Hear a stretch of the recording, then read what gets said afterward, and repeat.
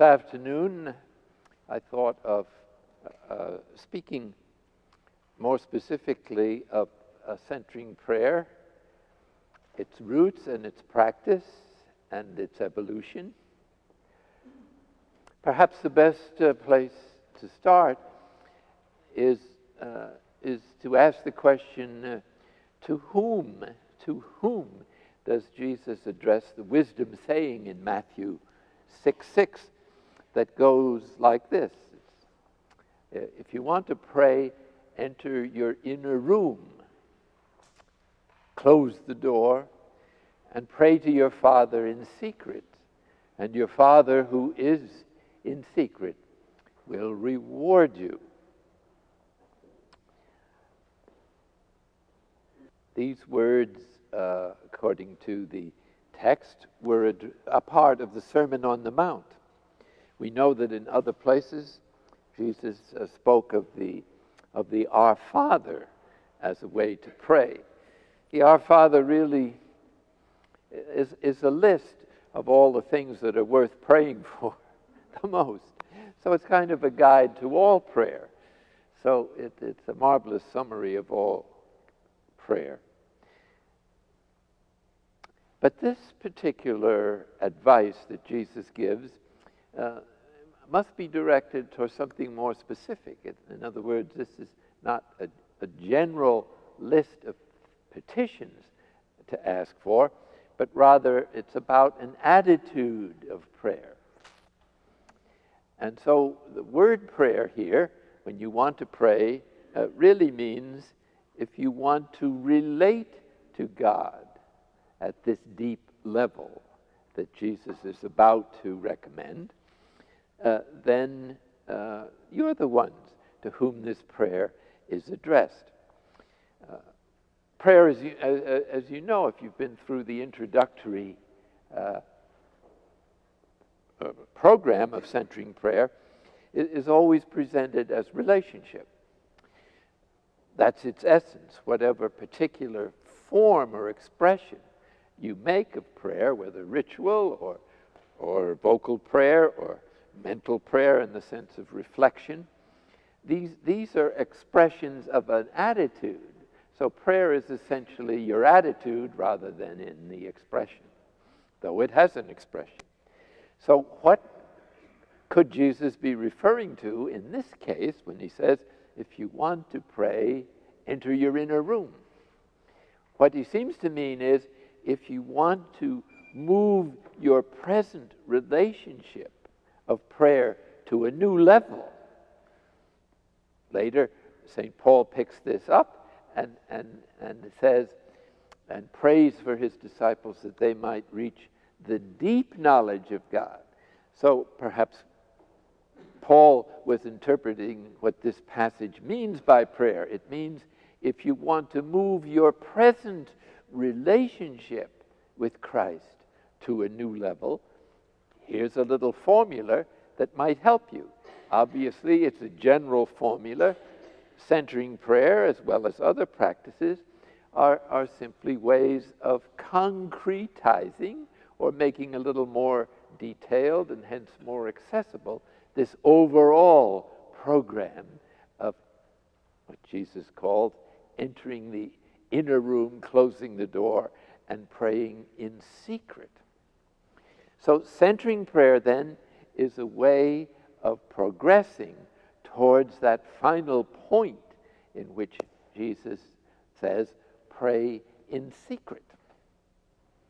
What that is, will be the subject of this discourse. First of all, just to remind you uh, of prayer as relationship means that whenever you start to relate to God in any way, at any age, at any time, you, you have to start where you are. And this may be uh, rather pedestrian, say the least. Or an, a child prays the famous prayer, Now I lay me down to sleep, and so on. Well, well God, being love itself, adjusts God's self to wherever we're at. So, so the prayer of the child is just as delightful to him as, as any other uh, or the maturest kind of prayer. But it, it's, it's meant to evolve like any relationship evolves. Think of your own friends, how your relationship started out maybe a little awkwardly.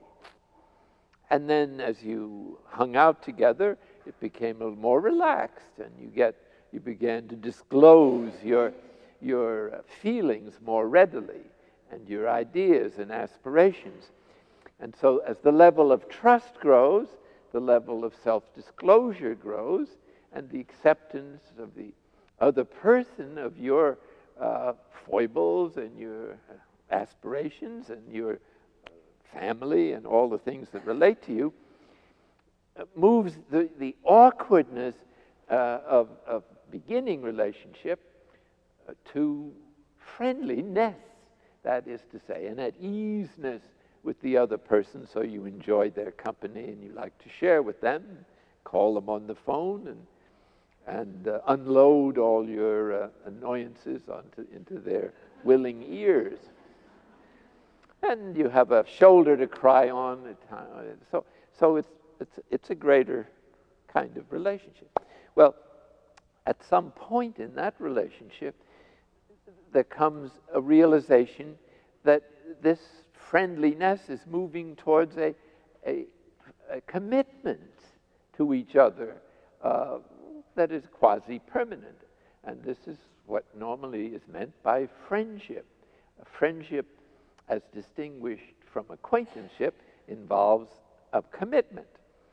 And, and the commitment is the doorway then to all kinds of levels of, of further commitment, union, and unity. Some friendships evolve into marriage, some into uh, spiritual friendship or soul friending. And, uh, and, and so, what Jesus is, is addressing in this wisdom saying, seems to me, are people who have uh, passed through a certain acquaintanceship to friendliness and are now, through this invitation, being called to the deep knowledge of God or friendship, a commitment. And what expresses that commitment in the concrete is, is your determination to practice contemplative prayer or this passage to it that we call centering prayer on a regular basis. In other words, it's almost like living together. Now, if you heard this morning's talk, I don't consider living together until you're spending all the time in the presence of God. But Jesus is much more considerate. and he, he's only asking here for basically uh, regular intervals of uh, dates. Call it a heavy date. At least it's an encounter that you don't lightly avoid or, or lose. And this is how friendship develops, where you uh, show up for your appointments. Otherwise, the other person will begin to lose interest. So, so God never loses interest, but if He sees that we're a little haphazard in showing up for our agreed upon interviews, uh, He said, Well, okay, I'm not going anywhere, but if you're not ready for this friendship, come back in 10 years, I'll be waiting for you. I'm not going away. But you'll be losing all this time in which you could have been developing these incredible levels of friendship, union, and perhaps unity. So, so this wisdom saying then is, is, a, is, a, is a invitation on top of the general invitation. It's, it's a kind of invitation that might be described, uh, if you want to look at it this way, as a betrothal. It's a kind of engagement. And so, if you accept this engagement, then all of the graces of your baptism, which is a symbolic engagement, begin to come into focus and you begin to understand what you got into with baptism. Namely, it's a, it's a commitment of engagement leading to spiritual marriage. That's what it's for. It's a symbol of your acceptance of the death of the false self, symbolized by the immersion in baptism, the water, the washing, and rising out of the water and the baptismal white garment and the candle, all symbols of inner resurrection in union with Christ.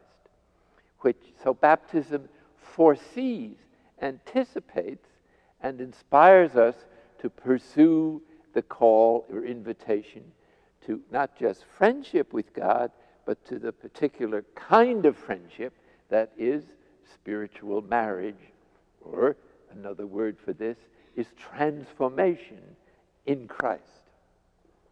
So it's a marvelous invitation. Again, it's, an, it's not imposed on you. It's not something you should do. It's something you, you may want to do. It's your choice. And, and so Jesus says, if you want to pray, it's up to you. If you want the deep knowledge of God, here is a practical way of proceeding. It doesn't, of course, uh, put out of business all our other prayers, or our ritual, or our sacraments, or our communal uh, worship, or our works of mercy and our good deeds and all the rest of it. It simply moves in, moves uh, or introduces a further dimension of friendship and intimacy, which, if you pursue it, will infuse into all the other practices of everyday life a new perspective will help you to understand the purpose of all these other practices. They're all going in the same direction ways of cultivating the contemplative dimension of your being, the contemplative dimension of the gospel, and to bring these together and to connect them in a relationship of ever deepening love and mutual understanding. And, as I said this morning, if you understood it properly, a movement of equality. To be perfect, love is between equals. Therefore, in some way, God has to make us equal to God's self. Now, this is not uh, numerical equality, but it, it, it supposes that God gives us the love that psychologically or spiritually enables us to feel that we're giving to God as much as we're receiving. That's the term of transformation when it reaches its perfection. So you can see from this kind of doctrine that, that most of us are way out of whack as far as understanding our relationship to God or the incredible uh, initiative that God has or the desire that God has to communicate to us the absolute maximum of divine light, life, and love that we can possibly receive. That's God's plan. How can this be? Don't ask me. I'm only telling you the way it is. That's God's invention, not ours. In any case, uh, with this background, we're ready to hear what this formula might be that would move our relationship, wherever it is now, to a more profound level. It has to be a sufficient amount of time that we hang out with God, so to speak. And, and although we're always with God, we think we're not. So it's this habit of thinking we're not with God that has to be overcome.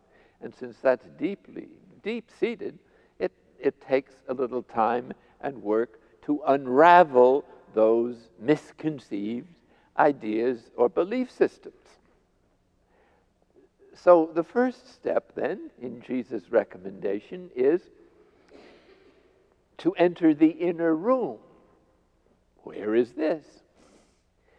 It has nothing to do with the geographical location because in Jesus' time, uh, society was very stratified, and everybody was either very well to do or very poor, and there was no upward mobility. So the poor, who was most of the people Jesus was speaking to, didn't have one room sometimes, let alone a private room. So he couldn't possibly have been referring to a, a mansion that had several rooms, including a private one, to which you could retire for, for prayer. It rather refers, as it was understood by the monastic fathers and mothers of the desert, and by the fathers of the church in their uh, interpretations of this passage, it, it rather refers to the spiritual level of our being, the, the, the, the level of intuition, and the spiritual will, which, which are uh, levels of our uh, being that we're not normally in touch with unless we initiate a spiritual journey or have had some mystical experience that awakens us to this dimension.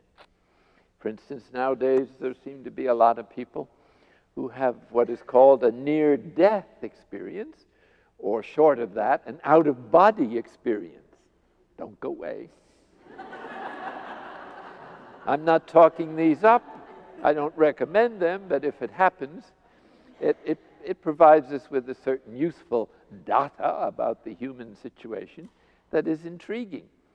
Uh, there are literally thousands of cases now carefully documented in which people were thought to be dead and, and died biologically on the table or even declared brain dead, and they came back after having experienced this passage or flight outside their bodies, which took them, they say, normally through a tunnel towards a bright light, and some negotiated the full length of the tunnel and others did not.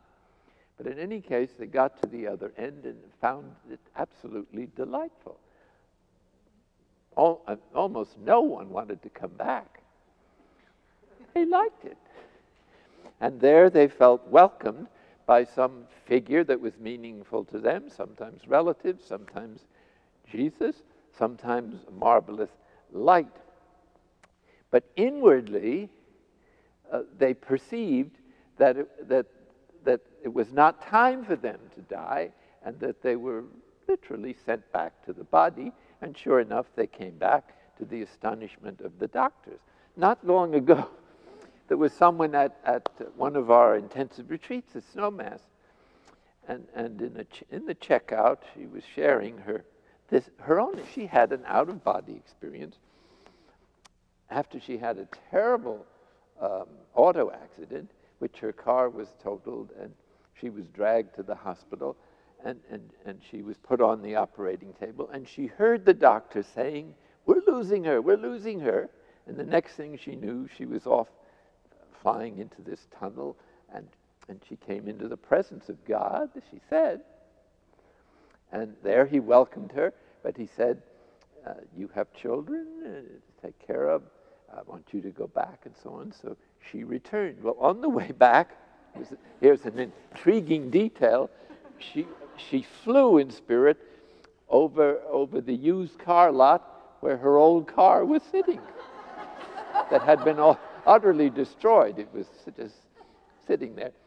And then she returned to the body. But she said to us, I, I live in longing to go back there. I, I have no desire to stay in this life. I have no fear of death whatsoever.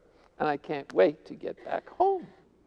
What uh, uh, this practice is obviously doing, or at least in Jesus' intention, is, is to get us more, feel more at home with the presence of God and God's closeness and in various forms of reassurance, short of a near death experience of that kind. What, what Jesus is, is recommending uh, here basically is, is the freedom or the unraveling of the habitual way of thinking about ourselves and about reality, which is basically uh, our unquestioning acceptance of the, of the uh, cultural conditioning that we've been through in our particular part of the world or wherever, wherever you were brought up. And, and so the way to get over excessive cultural conditioning and to open the mind, you notice uh, our fundamental book, Open Mind, Open Heart, is about openness. It's the first step in, in, the, in the development of, of, of wisdom. It's the openness that our ideas may not be correct. Openness to the fact that we don't know everything. Openness to the fact that we need to uh, learn from all the sources of knowledge that God has provided for us, such as, such as science and nature, when these are, are verifiable. So the, the inner room, then, is, is the spiritual level of our being that we enter by leaving behind our ordinary psychological awareness. That's why we suggest closing the eyes as a symbol of letting go of our immediate surroundings, but it's also a symbol of letting go of all the material uh, stimulations of our senses, uh, our memory, our, our uh, plans for the future, our images and our talents, and all the things that we tend to over identify with in daily life in order to have the openness to turn towards the spiritual level of our being and beyond that to what might be called the true self as opposed to the false self, the one that we think we are, and to the inmost center of our being where uh, God is present. And that is called the divine indwelling. The Father, Son, and Holy Spirit are living in us as the creative force of our being and also as the redeeming or healing presence uh, that is aimed at, at at healing the wounds of a lifetime of an emotional character and, and activating all of the gifts that were given to us in baptism. So, besides the, the uh, unconscious material that we repressed in early childhood because it was too painful to face, there is also what has been discovered and called uh, the collective unconscious, which is the influence of cultural conditioning for centuries upon centuries that tend to form us in, in a certain predispositions towards reality and, and, and which give us belief systems by which we judge whether certain things are good for us and certain things are not good for us as well as the societal values that have been very destructive in the course of history, such as uh, serfdom, or such as slavery, such as forced marriages, uh, such as uh, political uh, domination, dictatorships, power struggles, wars, all of these things that, uh, that have a certain honor or, or at least uh, excuse in our culture, we can look at in a different way and decide for ourselves whether these are true values or false values or whether they harmonize with the teaching of Jesus and our commitments as, as a Christian. So, by stopping our ordinary thoughts temporarily on a regular basis, you have an opportunity to uh, expose oneself to other ways of looking at things, and above all, to the presence of God and its values. In other words, uh, stopping our thoughts and entering the inner room and exposing ourselves to the values of the gospel and the divine presence is going to change us substantially. Now, if you don't want to change, there's no use staying here. You might as well ask for your money back and leave now. because that's what this. Everyone wants to be transformed, but almost no one is willing to be changed. so if God had figured out a way of providing transformation without change, you'd have a lot more followers. As it is, the only way you can be transformed is, is to change the way we are now. That is to say, the emotional investment in belief systems and in ways of finding happiness that we've habitually believed were certain all the way through. So, so the spiritual journey or the work of the inner room is to undermine some of our uh, naive certitudes. Hence, it, this is an education in reality. Or, to put it another way, contemplative prayer is an education in unearned love. It's not our, our religious belief systems that are the problem unless they're distorted. It's rather the, the naive, unquestioning acceptance of the popular beliefs in our culture. And, and, and, and here we are in the West. The, most people are not questioning uh, our materialistic culture, our consumerism, our uh, uh, patriotic uh, excesses, our economic domination over the rest of the world, or our globalization attitudes in which uh, the economy is the most important uh, factor. It can't be. People are the most important factor on earth. And hence, a, lot of our ideas uh, that are uh, formed by the culture that we've grown up in, it takes a long time to unwind them and to give ourselves a chance even to reevaluate them. Maybe they're not all wrong, but maybe we need to make them our own or adjust them in some degree. So, so that's why you have to enter the inner room, a symbol of letting go of your certitudes about beliefs that are simply popular and have next to nothing to do with the gospel, which are true values. And so uh, Jesus is saying that, that these attitudes are so deeply ingrained in us that just a, a Sunday visit, or maybe uh, even once a day for a short reminder of God's presence, is not enough to address the roots of our problem.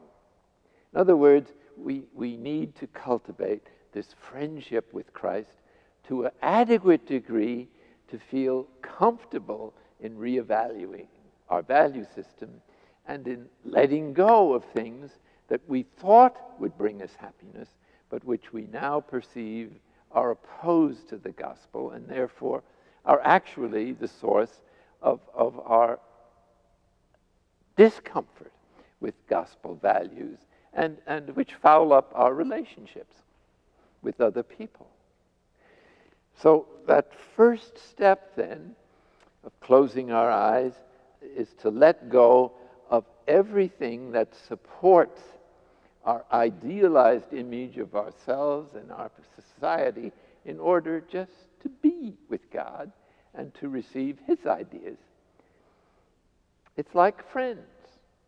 Uh, you, you, if you're very outgoing and talk, talking, uh, love to talk and hear yourself talk, then it may be some weeks before the other person finally says, Well, how about you're listening to what I have to say now?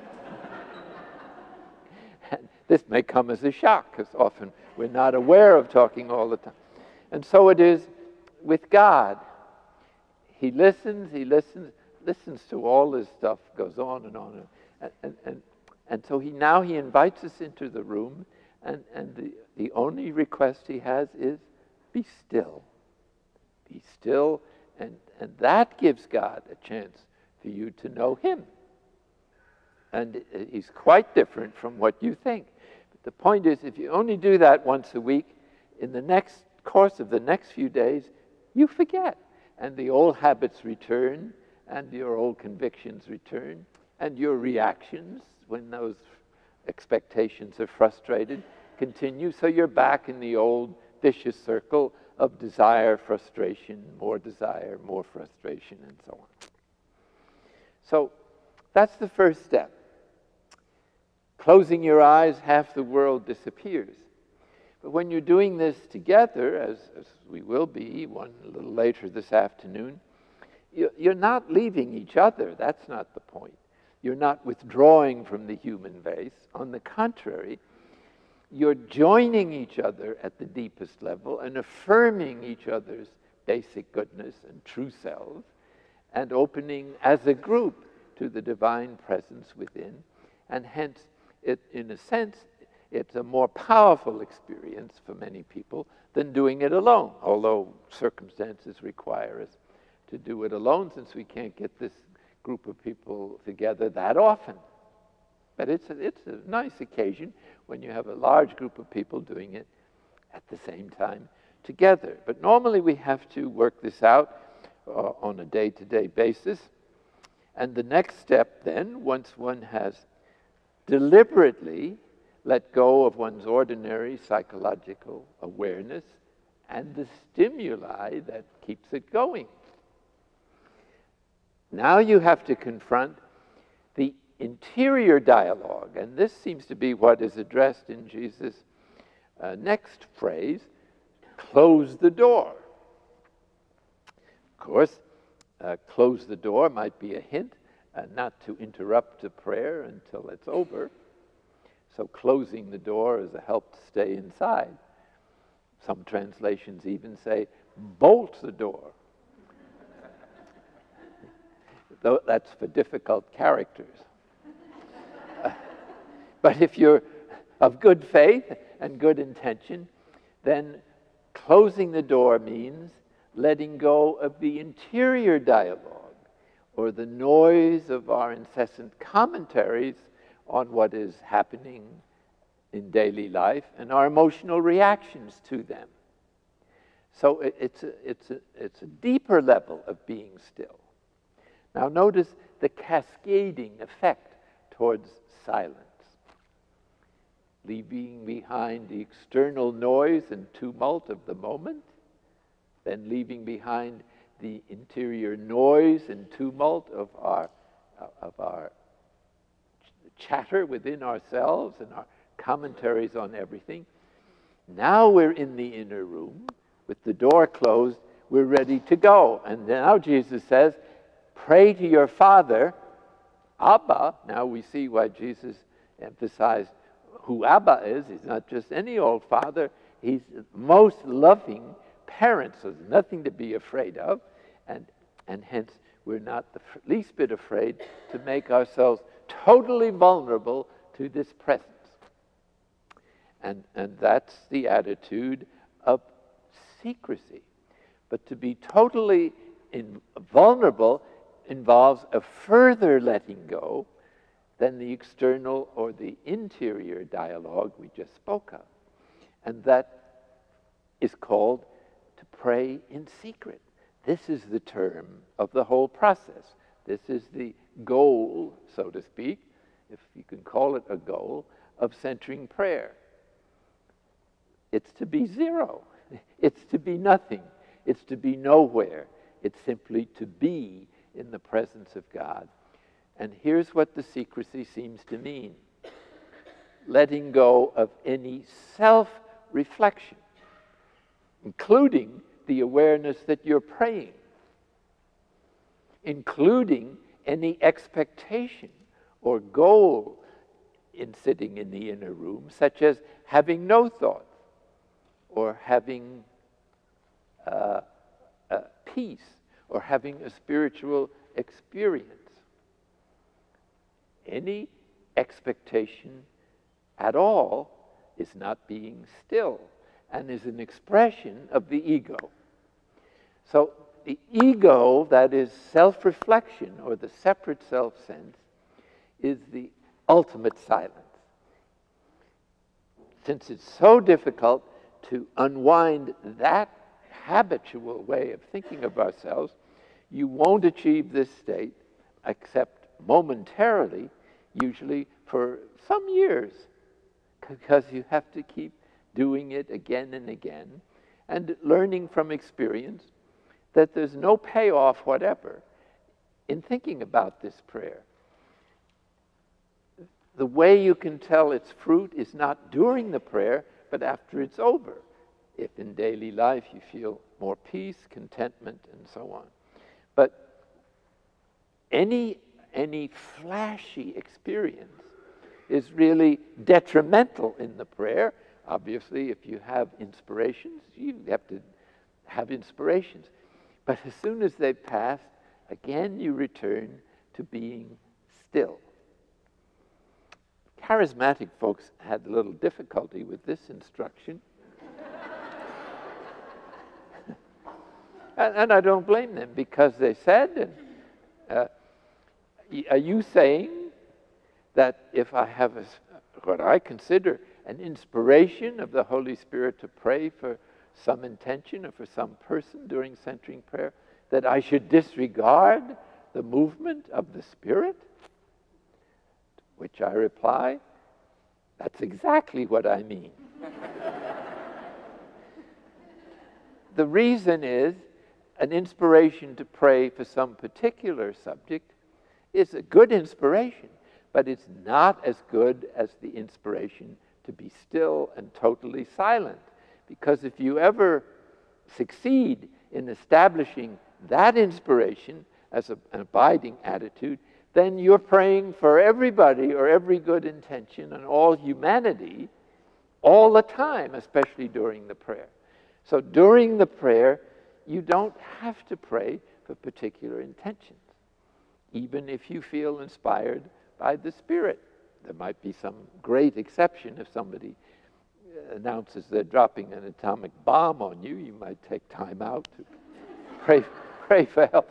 But apart from the most extraordinary circumstances, the best thing to pray for, as Jesus himself suggested in the gospel, is for the Holy Spirit himself, not just for inspirations from the Holy Spirit, but the person of love itself. I said this morning, our destiny is to become love, the love of God.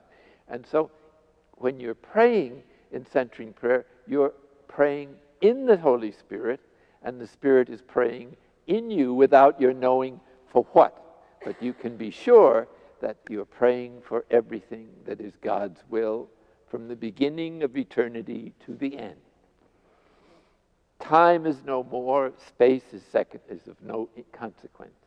It's your intention to consent to God's presence and action now in this moment that allows the Spirit to pray in you for the intentions of the Spirit, which is that God's will may be done from the beginning to the end of the human race.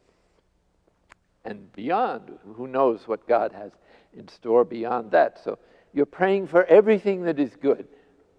You're also praying in union with Christ because the centering prayer is a participation.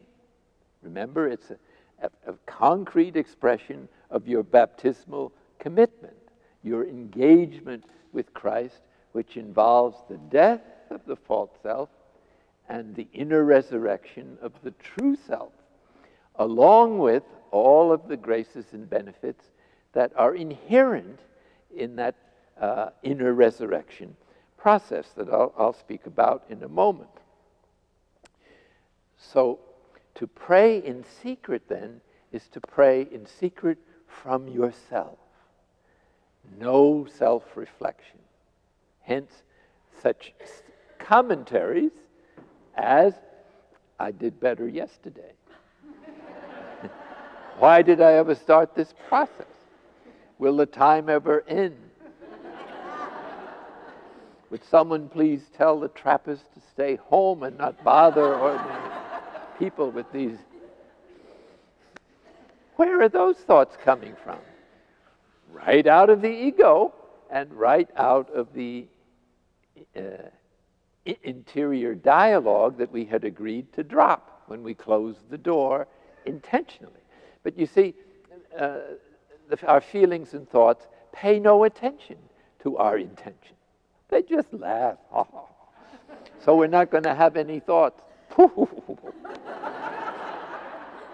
just try it, they say. And then, then we get frustrated.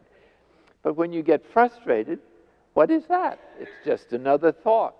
And so if you've learned the guidelines thoroughly, you do with that what you do with all, any perception at all. Remember, thoughts in the centering prayer is, is are feelings, vis, uh, images, concepts, plans, past, future, sensations outside, sensations inside.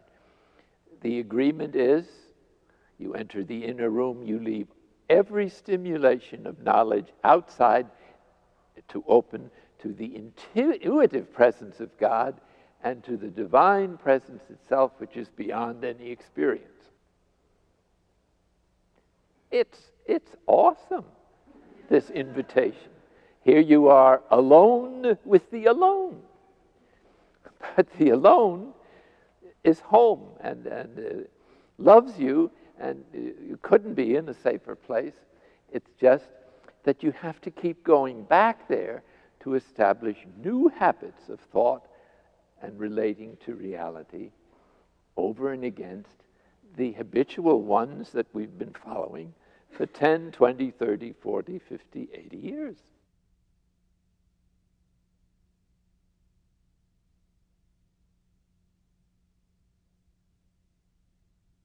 By returning again and again for a reasonable period of time, we suggest 20 minutes to a half an hour twice a day, you're slowly rolling back the misguided development of the false self over the whole of your life. Now, what goes on in the inner room? This is fascinating stuff. It, we're not just exposing ourselves to the divine presence, we do that by consenting, and, and we choose, as you know, a sacred symbol to support our consent when the inevitable thoughts come down the stream of consciousness that stimulate our programs for happiness or our over identification with our group. Both of these are the two cornerstones of the false self system. So, so we're so in the, in the secrecy of the prayer, uh, when we're not thinking about ourselves, or when we do, we return ever so gently to the sacred symbol, usually a word that we've chosen.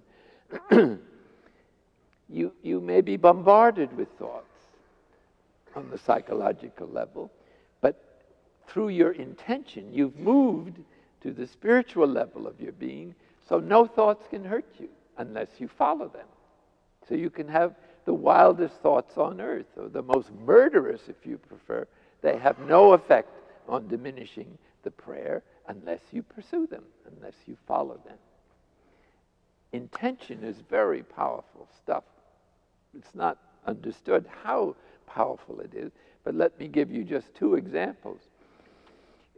Those of you who are married, there was a, some point in the ceremony when somebody asked you if you would declare your intention to marry this guy, and you said, I do. Immediately, your whole life changed forever. I consider that a significant effect. Or, to put it differently, in the exercise of the sacraments, what, what confects the Eucharist? When the duly ordained person says, This is my body, he simply has the intention of, of of making the Eucharist. And that makes it happen, at least in our faith. Not a big deal. There's no musculature involved here. There's a simple interior intention that effects this extraordinary result.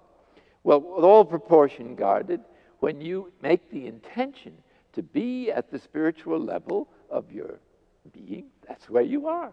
There's no obstacle we are where our will is, and the intention is the expression of our will, the spiritual will, to be more exact. So when you sit down, you're manifesting that will, and you're actually sitting down with Christ on the cross, participating in the paschal mystery, so that the joys and sorrows and the purification and the uh, are not just your sufferings in the process of healing the wounds of a lifetime, but are part of the redeeming work of Christ, which is redeeming you, but also everybody else in the human family, so that your, your participation is not just a privatized journey to perfection or wholeness, but is contributing to the healing of the whole human family in direct proportion to the intensity or purity of your union with God. It's that that is the source of mission or apostolate. Remember, in, in the case of Mary Magdalene after Jesus' resurrection, uh, it was he, it was she rather, whom he sent to the apostles to announce the resurrection. So the apostles were not advanced enough in love to be able to, to, to uh, uh, present this information. It was Mary who was deeply, more deeply advanced in love that became thereby a apostle in her very being. So, so this is what is happening in centering prayer. You're becoming an apostle or, of Christ in your very being, so that whatever you do, whether you even mention the name of Christ out loud, is, is, is healing and transforming the, the, the emotional wounds of the world, beginning, of course, with our own. Okay, if we could be still long enough, you'd be transformed very quickly. It's not going to happen in a hurry. Even if you have great experiences, ecstasies, it doesn't change the permanent setup of our character. It's only over time that grace gradually unwinds the habits of a lifetime so that the presence of God becomes second nature. Doesn't go away. You can't hang on to it. You can only open your mind and heart to it and wait for it to take root. Meanwhile, both you and God have to put up with the habitual nonsense that goes on in our heads most of the time. Now we're dealing, with, we have ourselves in the inner room. We've closed the door. We've got 20 minutes to a half an hour just to be still. And we're being bombarded with thoughts or, or uh, stimulation to think about this or that. And as long as there's any attachment in your conscious or unconscious life, then every now and then a thought is going to catch you because the roots of your attraction are still there. So it, it, it's letting go of the roots of our attachments that is the key to the healing of the wounds of a lifetime. And, and that can be reinforced in everyday life by recognizing, with God's help, what your predominant attractions are in the way of finding happiness through the instinctual needs of security, approval, or power and control. When you have no longer any desire to control anything, you, you'll probably be in divine union. There is no other obstacle. Or when you let go of your exaggerated desire for approval or affection and esteem, you're free. And, and there's, there's no obstacle except these attachments. And, eh, but the more subtle attachments, obviously, take longer and they require a more intensive treatment. You know, like some illnesses require more intense antibiotics right? Or certain mental difficulties require a, a deeper kind of psychotherapy. Well, the divine psychotherapy goes deeper than any therapy. Much more thorough. And God knows us perfectly inside and out and still loves us. And so he, he, here's where divine love is not sentimental.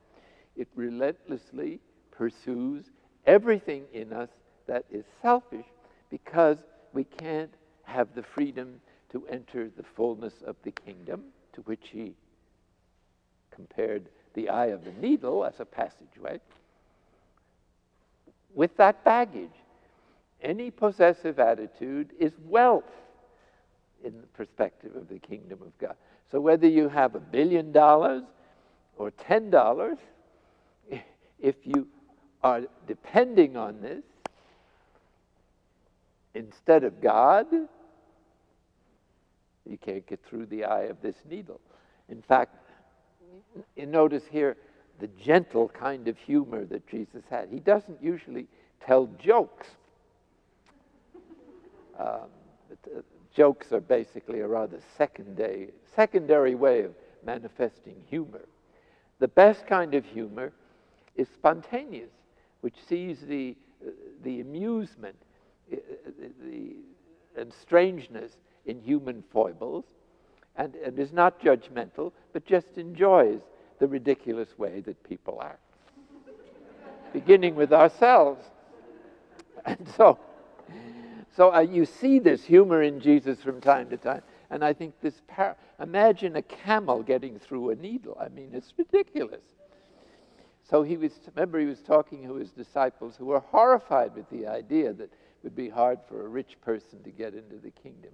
And Jesus only emphasizes how hard it would be by saying it would be easier for a camel to get through an eye of a needle than for a rich person to get into the kingdom.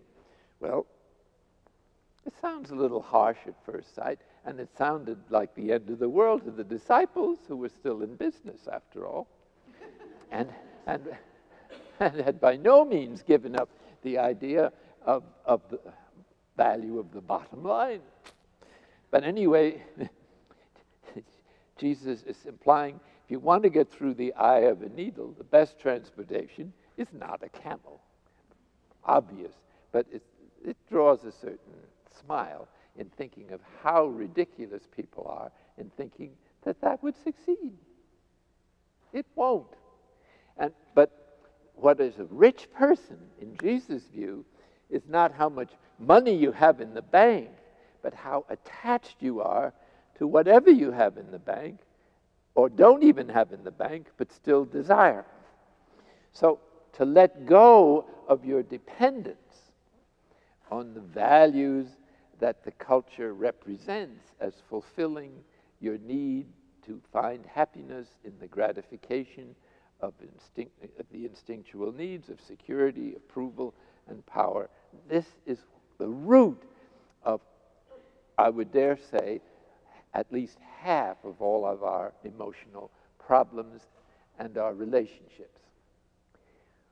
Without letting go of the exaggerations of those desires to find happiness there, in those things, then uh, our relationships with God can get mixed up, and you can have a codependent relationship with God a dysfunctional relationship with God, to use psychological terms. In other words, we find ourselves trying to manipulate God. Give me this. How dare you take away these conscious consolations in prayer? Do you think I'm going to continue to praying? Think again.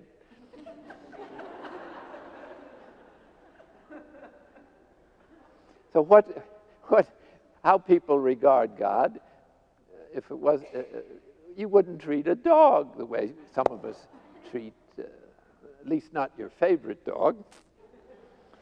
In any case, uh, this work of the inner room uh, has two main thrusts.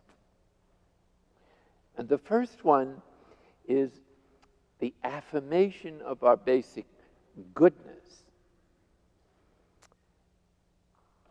We're the, all made in the image of God, so we're basically very good. And, and this goodness can never be lost no matter what happens or whatever horrors you may commit, the basic goodness that God gave to us in creating us in the first place can never be lost and remains, uh, theologians tell us, even in hell. But here again is where the belief systems of our culture affect us. For all practical purposes, a lot of people in our culture, especially, have a low self image. They were oppressed, rejected, their desires for happiness in the form of instinctual gratifications was withheld deliberately or not deliberately. They, they repressed the pain into the unconscious where the energy continues. The body becomes a warehouse for this negative energy and hence interferes subtly with our decisions in life and our attitudes towards other people. Uh, this is how the false self develops.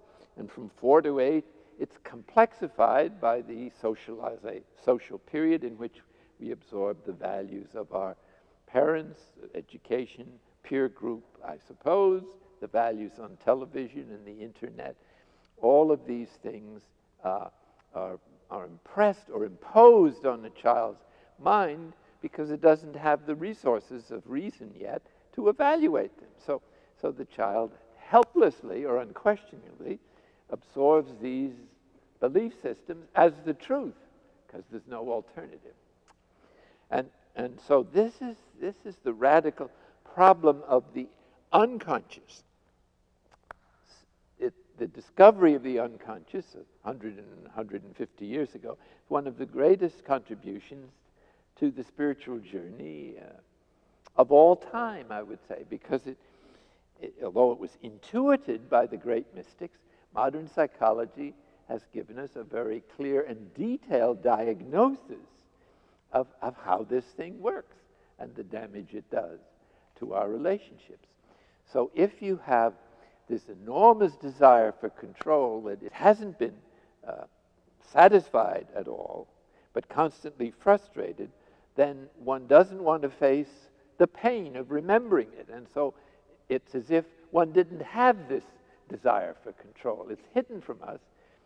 And, and and, and we glorify it by various names, saying this is prestige or manliness or feminineness or whatever is, is the mystifying intent. But meanwhile, the energy itself merrily goes on, fouling up our relationships, and we're not even aware of the problems that we're creating for other people because it seems like second nature to us, and that everybody it should be obvious to everybody that they should do what we say. How can they doubt it? Isn't it obvious that we're in? And it doesn't occur to us there's something off or something a little strange about this position. But it could also be the need for approval, or it could be the demand for security. And here's where security needs are especially subtle because the greatest security is usually given to us uh, through our religious commitment. Now, there's nothing wrong with religion, and, and we have uh, certainly, this is the normal way to develop our relationship with God.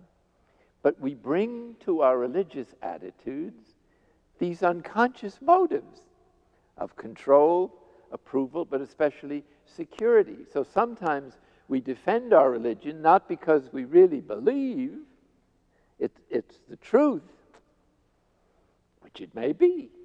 But our real motive is hidden from us because we want to find in our particular observance the ultimate security. If I practice my religion, then everybody else is wrong and I can peacefully despise them. And, and God has to reward me now by putting me in heaven because I accept all the tenets of this particular religion. Baloney. this is not true religion at all. It's simply a, a, a desire to find gratification in something that appeals to our or strengthens our need of security in the form of certitude in our religion. And hence it interferes with our respect and understanding of other people's religions. And ultimately, it has led to the kind of violence that has made religion the absolute bane of the universe for centuries. And it's still going on.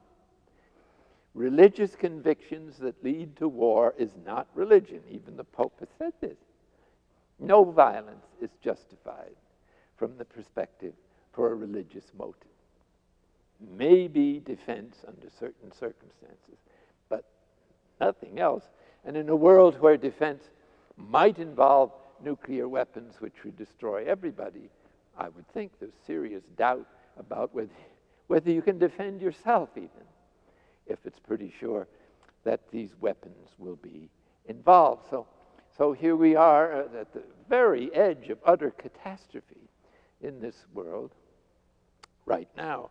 And, and all the more reason why those who are doing centering prayer, uh, their contribution is enormous because who knows what to do in the concrete?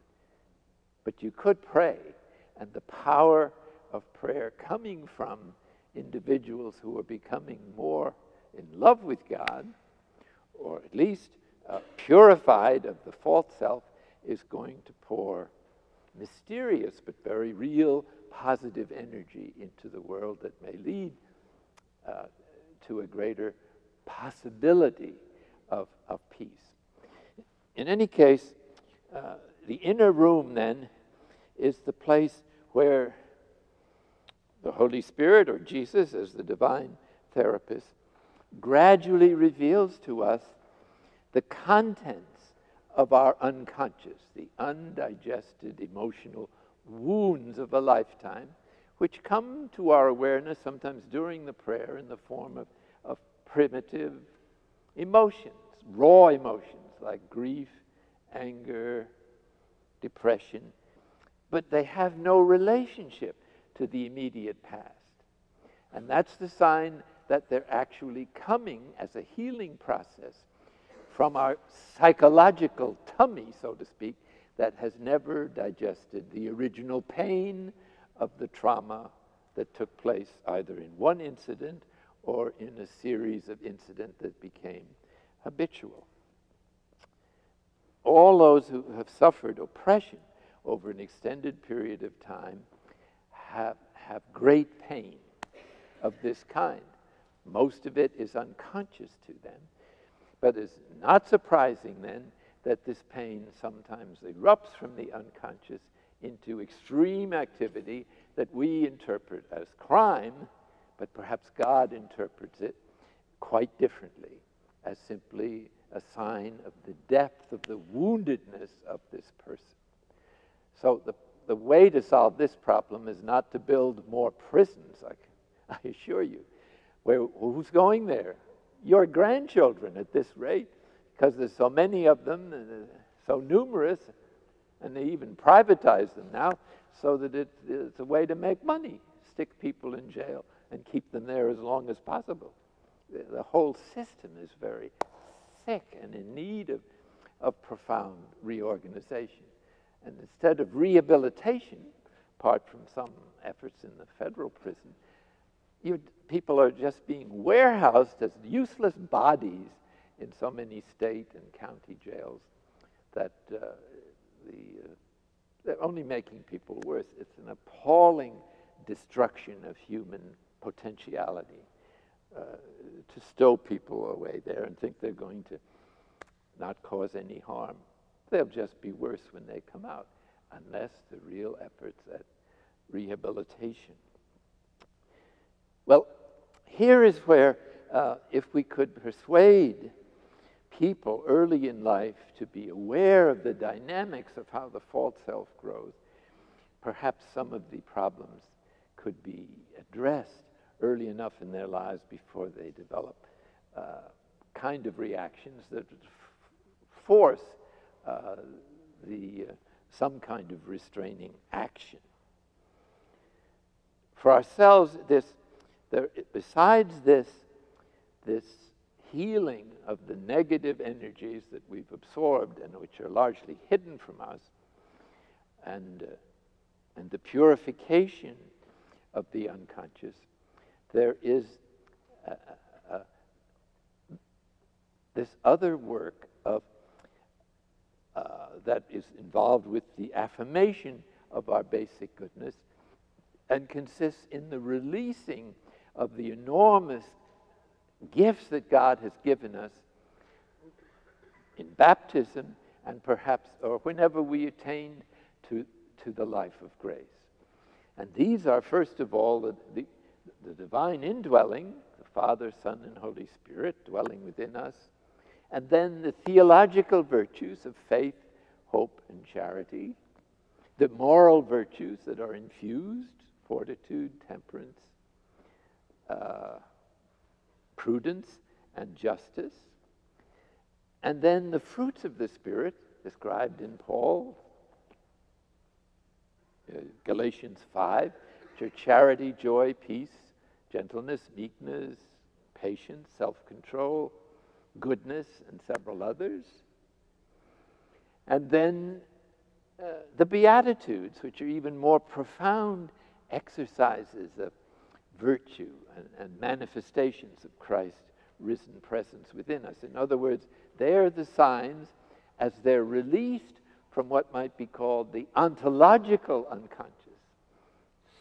The unconscious that is uh, uh, similar in the sense that it's unconscious to us, but is also just as present, but totally positive uh, as a counterpart to the psychological unconscious, where the repressed material of a lifetime needs to be brought to consciousness in order to release it. It doesn't require, most of the time, anything more than feeling it and it's gone.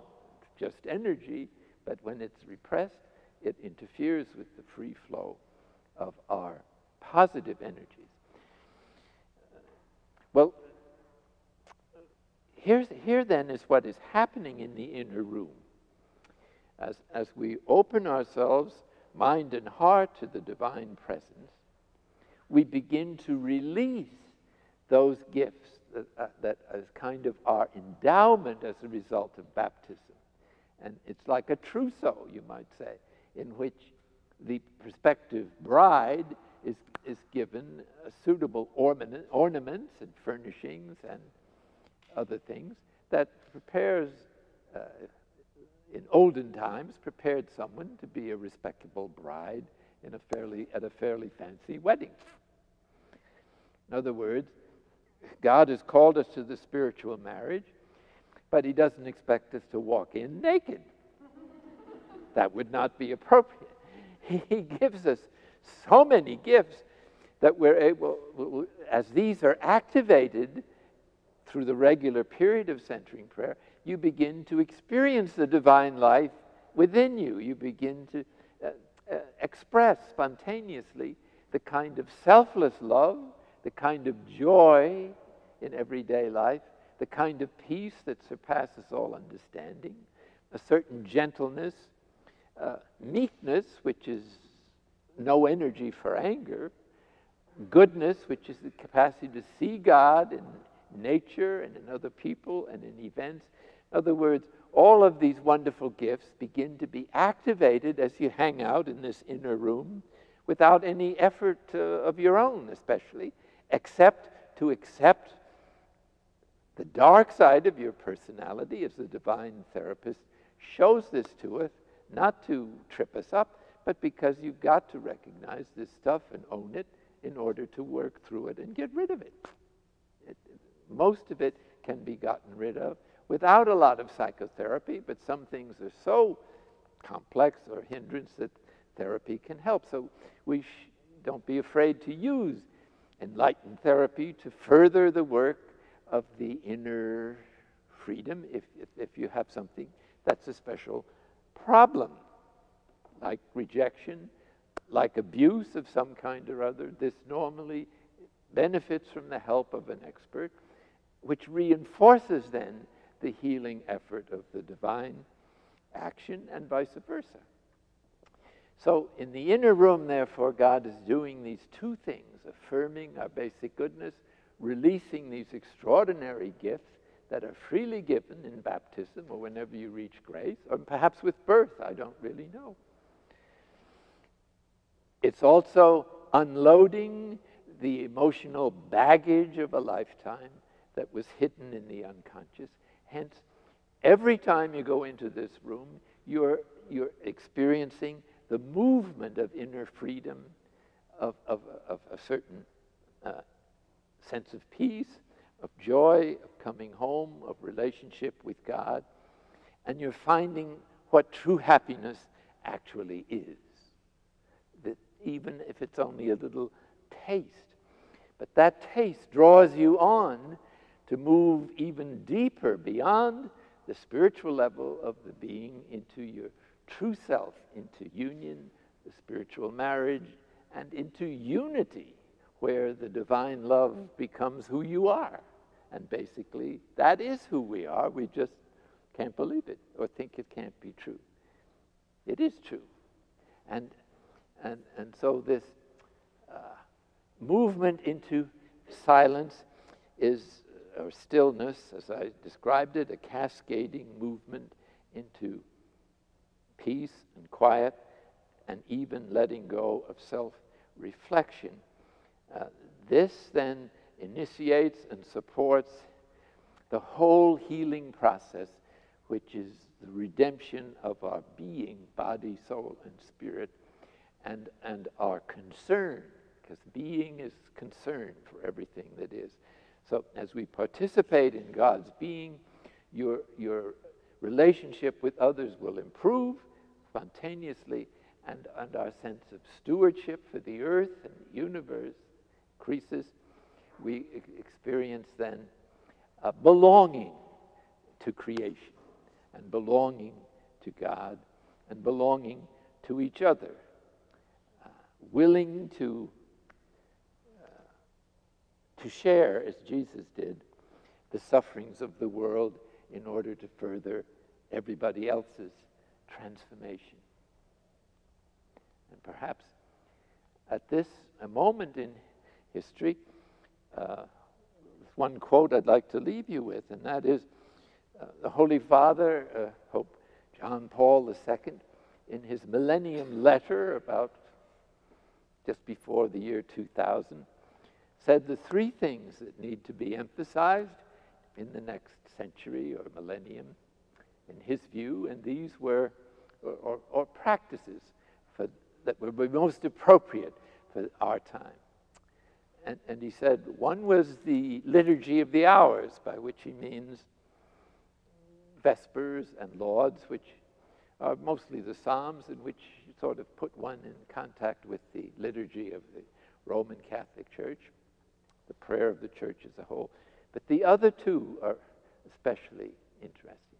The second one is Lectio Divina, and the third one is contemplative prayer. So I venture to say that if you're doing centering prayer, you're in complete agreement, or at least you're on the main direction in which uh, this holy man is, is, is expressing uh, the movement of the Spirit. So the Spirit also is, is very evident in the desire or need of many people around the world to, for a deeper meaning in life and a closer union with God. And, and this is what you're contributing to, primarily in being faithful and regular to the inner room and to praying in secret. The reason Jesus says to pray in secret is interesting. It's because your Father who is in secret will reward you.